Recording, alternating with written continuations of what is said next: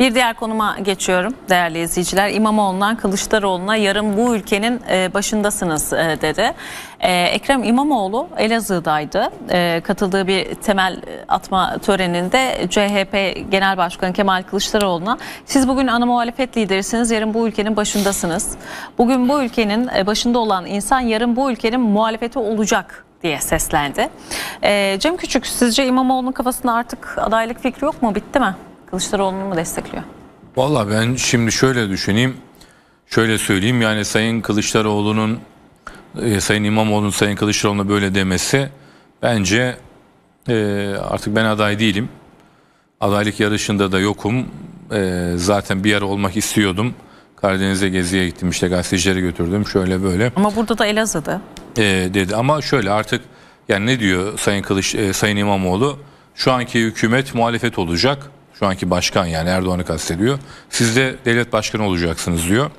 Ben sizi destekliyorum diyor. Böylece e, Sayın Kılıçdaroğlu'nun rakibi olarak görülen isimlerden biri İmamoğlu e, kendi kendisini taca çıkarmış durumda. Yani bu da kendi kendi taca çıkardı derken de yani zaten aday olma şansı zordu. E, Sayın İmamoğlu, e, Kılıçdaroğlu defalarca belediye başkanlarının aday olmaması gerektiğini, e, onların görevlerine devam etmesi gerektiğini 2024'e kadar meclis çoğunlukları AK Parti'de olduğu için de oraların AK Parti'ye geçmesini istemediğini söylemişti. Böylece imam e, bu kartı gördü. Şimdi bu işin bir de 2024'ü var. Yani 2023 geçiyor. 2024'te de belediye başkanlığı seçimleri var. Şimdi Dimya'da pirince giderken evdeki bulgurdan olmak var. Yani Sayın İmamoğlu başkanlık yarışı ve rüyaları görürken, başkanlık hülyalarındayken bir anda o bitince Belediye başkanlığı da mı elden Belediye gider? başkanlığı şimdi Kemal Bey ona aday yapar yapmaz hani başarısı neticede o da anketlere bakılacak. Tabii 2023'ün nasıl biteceği önemli. Yani AK Parti ve Erdoğan kazanırsa 2024'te de şansları daha fazla olur. Keza aynı şey e, muhalefet kazanırsa onların da şansı daha fazla olur. O açıdan ben buradaki durumu e, CHP açısından 2023'e bağlı olarak görüyorum ama İmamoğlu aday olamayacağını anladı. O yüzden CHP'ye sıkı sıkı sarılıyor haklı olarak ve 2024'te gene belediye başkanı adayı olmak istemesi en doğal hakkı. Belki ilerisini düşünüyor. 2028'i veya sonraki dönemi düşünüyor denilebilir. E, bu şu da demek yani Kemal Bey'i biz ben bir CHP İstanbul İl Baş, e, İstanbul Belediye Başkanı olarak hı hı. benim adayımdır da diyor. Bütün CHP'liler zaten böyle söylüyor. Buradaki mesele her programda söylüyoruz. Bir daha söyleyeyim. Sadece İyi Parti'nin tavrıdır. Yani İyi Parti Kemal Bey'e ses çıkarmazsa Kemal Bey adaydır. Eğer ses çıkarırlarsa ya bu ittifak dağılır ya da e, ayrı bir aday çıkarır İyi Parti ya da tamam derler. Sayın İmamoğlu aday olsun, şey Sayın Kılıçdaroğlu aday olsun derler. Bunun dışında söylenecek başka bir şey yok. Diğer küçük partilerin e, itiraz etme hakları var elbette ama güçleri yok, potansiyelleri yok. Alacakları oylar belli 1, 2, 3 neyse bu durumda. Ee, Sayın Kılıçdaroğlu altılı masa olarak da galiba seçimlere milletvekillerine en az 40 ilde beraber girelim. Hani 40 ilde bağım, ayrı ayrı girelim gibi bir şey söylemiş. E yani orada da tabii HDP dengesi var. Ee, onlar nasıl olacak o da önemli. Yani mesela Isparta'da diyelim ki İyi Parti güçlü. Orada İyi Isparta ağırlıklı ya da Konya'da diyelim ki Sayın Davutoğlu'nun listesiyle işte Ankara'da Ali Babacan'ın olacağı bir listeyle diye anlıyoruz bunu. Ama şu andan bunları HDP söylemek... mesela gerek... orada ortak liste olabilir mi? HDP konusunda İyi Parti'nin tavrı yani. net. Yani Sayın İmam Meral Akşener defalarca ve en son birkaç hafta önce HDP'nin olduğu masada biz olmayız dedi. Hem Yavuz Ağar Alioğlu hem e, diğer isimler yani buna Ahat abi de dahil. Yani HDP konusunda partinin tavrı bence net orada. Yani hiç öyle o konuda bir görüş ayrılıkları olduğunu düşünmüyorum. Yani zaten Gürsel Tekin HDP'ye bakanlık verilir deyince çok sert tepki de geldi. E, tabii masa kalır mı, dağılır mı, ittifak ne duruma gelecek onları da görmek lazım. Ben kendi adıma söylüyorum. Ben yarışın 2023'te Sayın Erdoğan'la Sayın Kılıçdaroğlu arasında olacağını düşünüyorum.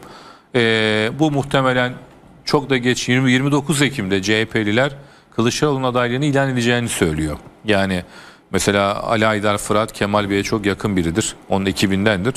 Öyle 29 Ekim olabilirken kesin demiyor asla ama hani böyle bir duyum var.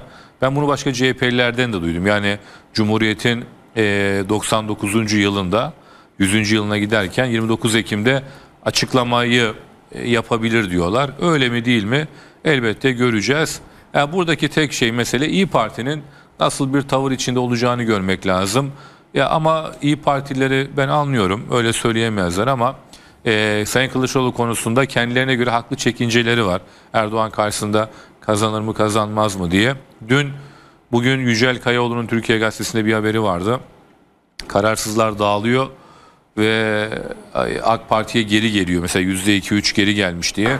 Sayın e, gene Metropol anketinin sahibi Özer Sencer onu ben örnek vermemin sebebi muhalefetin çok referans aldığı için. Muhalefetin referans aldığı Özer Sencer de kararsızların %19'dan 14'e düştüğünü bunların da çoğunun AK Parti'ye geri geldiğini söylüyor. Yani bugün anketlerde AK Parti Sayın Özer Sencer'e göre 35-36, MHP'de 8-9 yani böyle bir ivme yakalamış görünüyor. Ee, ben kendi görüşümde ben Erdoğan'ın bu konut meselesi başvurunun 3,5 milyonu geçip 4 milyona doğru gitmesi, dış politikadaki adımlar, ekonomide şöyle yapıcı yani vaatlerin vermesi, altılı masanın dağınık bir görüntü verip aday konusunda bile anlaşamamaları, işte mizah konusu oldu bazı mizah dergilerinde ki bu normaldir. E, dolayısıyla da e, şans biraz da Erdoğan cephesi açısından görülüyor ama siyaset hakikaten uzun bir süreç. Haziran başında seçim yapılacağını varsayarsak ki ben Haziran'ın ilk haftası olacağını ilk düşünenlerdenim. Yani 8'i 9 8'inde yani 15'ine kalmaz da 11'e kalmaz. Yani 4'ünde veya 11'inde olacağını düşünüyorum. Üniversite sınavlarından önce. Bu iki tarihten biri.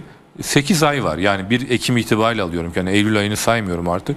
Şimdi muhalefetin de bence biraz kendine göre daha harekete geçmesi ve somut adımlar atması gerektiğini düşünüyorum. Peki teşekkür ederim. Ee, Ruşen Gültekin hem bu e, İmamoğlu'nun açıklamasını soracağım size. Yarın bu ülkenin başındasınız e, diyor. Adaylıktan vaz mı geçti? Aday olma düşüncesi tamamen ortadan kalktı mı? Kılıçdaroğlu'na destek vermeye mi karar verdi İmamoğlu cephesi? E, ve Cem Küçük e, şunu söyledi. Yani aday olamayacağını anladı Ekrem İmamoğlu. O yüzden şimdi sıkı sıkı CHP'ye sarılıyor. Sizce de böyle mi?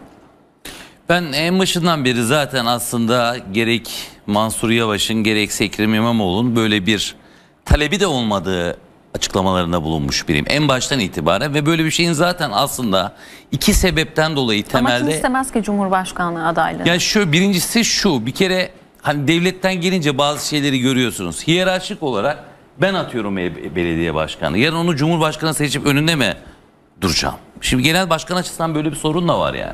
Kendi atadığım, kendi yukarıya çıkarttığım birinden bahsediyoruz. Yani ben genel başkanken ben Sayın Ekrem İmamoğlu ne yaptım? Hani Kılıçdaroğlu olarak söylüyorum. Beylikdüzü'nde küçük bir belediyenin başkanlığına ilk önce getirdim. Oradaki başarılarından dolayı ben onu seçtim. Hatırlayalım hiç kimse tanımıyordu aslında Ekrem İmamoğlu yerel olarak tanındığı yerden.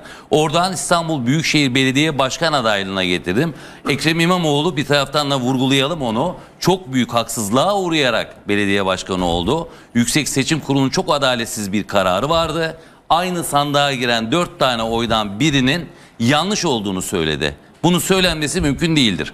Bugün o belediyelerde Ankara ve İstanbul belediyelerinde hala meclis çoğunluğu AK Parti'de ise yapılan bu haksızlık sebebiyledir. Oysa sen iptal ediyorsan eğer bu sandığa giren 4 oyun 4'ü de mutlaka hatalıdır ya da değildir. 4'ü de hatalı deseydi öbür seçimlerde 800 bin oy çok aldığında bugün İstanbul'daki e, ilçe belediyelerin büyük bir kısmını Cumhuriyet Halk Partisi almış olacaktı filan falan. Ama bu bir adaletsizlik ve bu gerçekleşti.